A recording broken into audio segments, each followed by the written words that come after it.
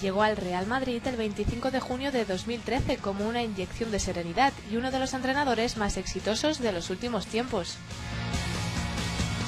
Elegante, tranquilo y cercano con sus jugadores, Carlo Ancelotti se ganó enseguida el cariño y respeto del vestuario y de la afición. Un cariño y respeto que no solo ha conseguido gracias a su forma de ser. En estas dos temporadas en el banquillo blanco, el técnico italiano ha logrado la ansiada décima tras 12 años de incansable búsqueda en el club. Además de ganar una Copa del Rey, una Supercopa de Europa y un Mundial de Clubes. Pero pese a estos títulos, el pasado lunes Ancelotti fue destituido porque, según Florentino Pérez, la exigencia es máxima y creemos que es el momento de dar un nuevo impulso. Esa misma noche, el ya ex entrenador del Real Madrid se reunió con Galliani, que quiere convencerle de su vuelta al Milan.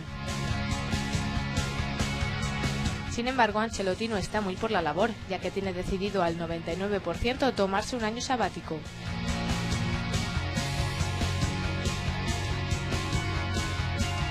Carleto se despide de la Casa Blanca con cuatro títulos más en su palmarés y la satisfacción de haber conquistado un vestuario y una afición muy exigentes.